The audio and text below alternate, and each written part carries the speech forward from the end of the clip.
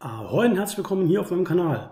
Ja, heute gleich zwei Besonderheiten in meinem Video. Die Nummer eins ist, ich filme heute nicht mit meiner normalen Kamera, sondern ich filme hier mit einer Action-Kamera. Und zwar habe ich mir von DJI die Osmo Action 4 besorgt. Ich hatte vorher die 1er und jetzt mir die 4er zugelegt.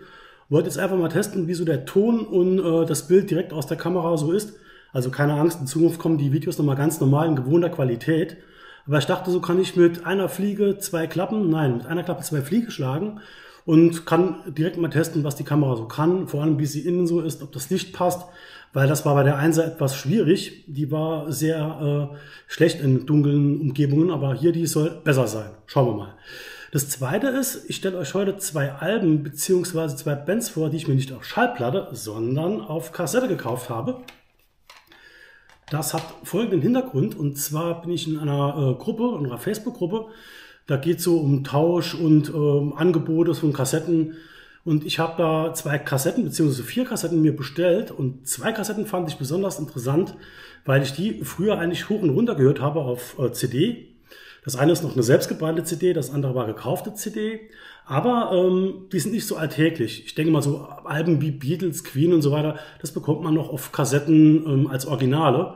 Aber diese Kassetten habe ich vorher noch nie als Originale gesehen und da das eigentlich meine Musikrichtung ist, dachte ich, das ist interessant. Die legst du dazu und dann stelle ich die beiden Bands und die beiden Alben vor.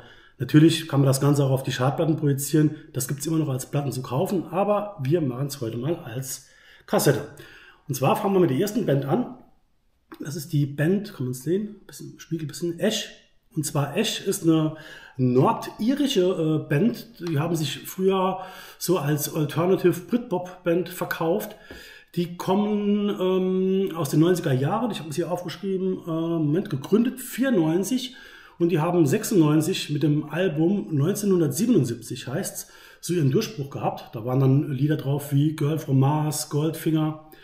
Ähm, warum heißt das Album 1977? Man kann es vielleicht schon vorstellen. Also zwei Bandmitglieder sind 1977 geboren.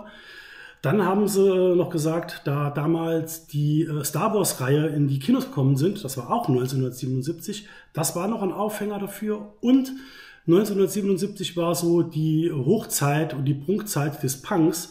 Also ich nehme an, dass die drei äh, Parameter dazu geführt haben, dass das Album 1977 heißt.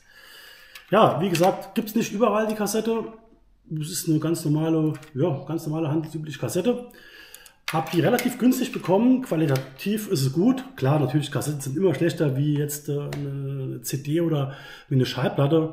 Aber ähm, habe mich gefreut, dass ich die gefunden habe.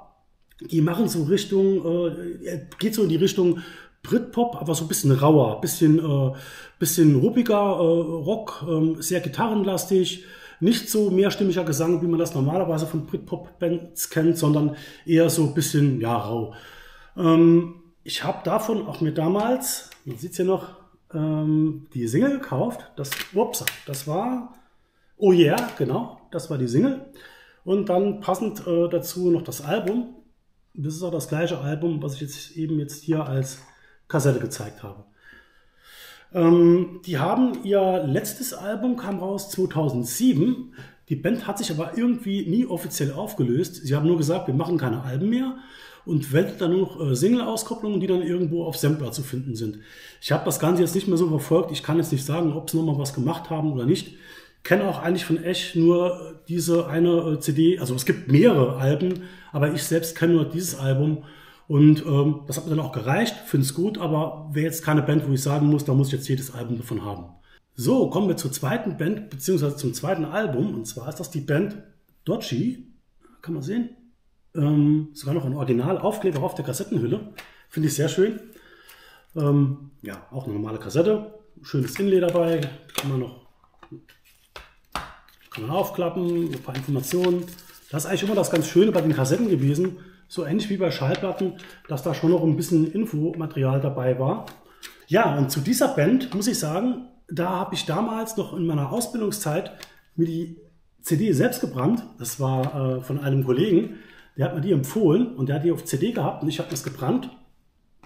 Aber irgendwie ist die Band dann auch in der äh, Vergessenheit, in die Vergessenheit geraten, weil durch die MP3 und Streaming-Angelegenheiten habe ich dann irgendwie meine CDs nicht mehr gehört, hat auch keinen CD-Player mehr. Deswegen habe ich da irgendwie dann nachher nichts mehr davon gehört. Mich jetzt noch mal ein bisschen informiert. Und zwar Dodgy selbst ist auch eine, ja, ist auch eine, eigentlich eine Britpop-Band oder beziehungsweise in der Britpop Welle damals rausgekommen, unterscheidet sich aber sehr von Ash, weil die sehr, sehr melodische Lieder haben. Die haben ähm, Bläsersatz in ihren Aufnahmen, Xylophon teilweise, bisschen Akustikgitarre, also sehr, sehr abwechslungsreich und vor allem äh, auch mehrstimmiger Gesang. Das klingt schon eher so, ja, wie damals Beatles. Also das ist qualitativ auf jeden Fall viel, viel hochwertiger wie Ash. Und da habe ich mir auch ein paar Notizen gemacht. Das ist eine englische ähm, Band, also Rockband ist damals eigentlich so verkauft worden.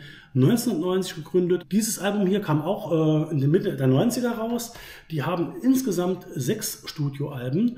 Und ähm, ich habe mich mal belesen, also ich glaube, die Tour, äh, die Band tourt immer noch. Aber ähm, ihr letztes Album haben sie 2016 rausgebracht. Da habe ich mal reingehört in, in, in einen Streamingdienst und habe mir die dann auch besorgt als Schallplatte, also noch original eingepackt noch nicht reingehört. Also nur, ähm, wie gesagt, gestreamt. Da muss ich sagen, die Platte ist fantastisch. Also unterscheidet sich nochmal von dem ersten Album, was ich vorgestellt habe. Ist viel melodischer und so. Aber da machen wir ein extra Video, da will ich jetzt nicht zu viel erzählen davon. Nur wie gesagt, die Band Dodgy kann ich jedem nur ans Herz legen. Wer ein bisschen hochwertigere, qualitativ aufwendigere Aufnahmen will haben von der Britpop-Zeit damals, das kann man nicht vergleichen mit Oasis, nicht mit Ash oder auch nicht mit ähm, Stone Roses, egal was es damals gab. Das ist schon eine Spur oben drüber, finde ich. Und ähm, schon qualitativ, wie gesagt, hochwertiger. Nicht nur von den Aufnahmen, sondern auch vom, vom Arrangement, von den einzelnen Stücken, ist das eigentlich eine, ja, eine ganz fantastische, hervorragende äh, Aufnahme. Ich hoffe, es hat euch schon ein bisschen Spaß gemacht. Ich konnte euch zwei Bands ein bisschen näher bringen. Vielleicht hat es der eine oder andere schon gehört. Wie gesagt, mich hat es gefreut, dass ich die beiden Kassetten gefunden habe, weil das nicht so ganz alltägliche Bands sind und ähm, ich die, wie gesagt, früher sehr, sehr gern gehört habe. Wenn es euch gefallen hat, das Video, Daumen nach oben, Kanal abonnieren und wie gesagt, mit dem Ton und mit dem Bild könnt ihr mal schreiben, wie es so war. Wie gesagt, nur ein Test, wird in Zukunft nochmal ganz normal mit der Kamera aufgenommen werden. Also, dann würde ich sagen, das war's und bis dann.